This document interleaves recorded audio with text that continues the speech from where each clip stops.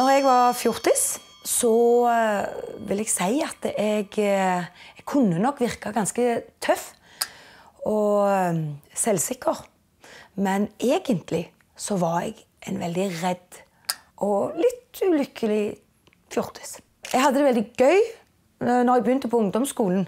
Men pga. at jeg hadde blitt så veldig mobba på barneskolen, så var jeg så veldig redd for å lære.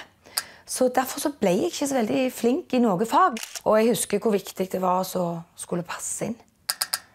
Og jeg husker mest den følelsen av å gjerne ikke passe inn. Men jeg husker òg alt det som var veldig gøy, og det som var helt nytt.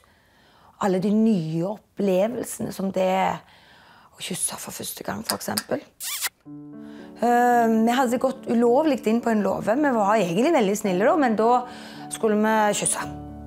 Uh, og det var jo veldig spennende. Det var jo sinnssykt spennende. Og så ble plutselig dørene revet opp, og det ble brølt ut. Det er politiet!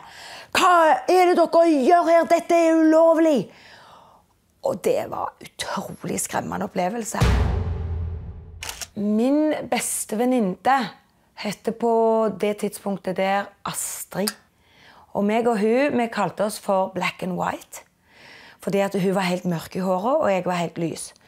Og vi sang i band sammen, og vi var veldig, veldig nære venninner. Jeg likte godt sånn second hand. Jeg var en av de første i Stavanger som begynte å gå på Fretex. Jeg hadde bl.a. en gammel pels, kupels av alle ting, fra krigen. og den lukta så forferdelig at mor ville ikke være med meg på bussen. Nerd. Uten tvil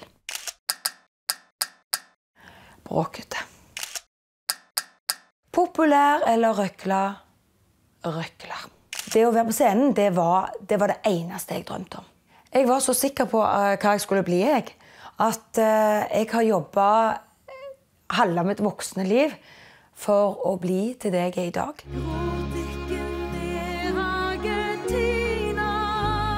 Jeg er både sint og sint.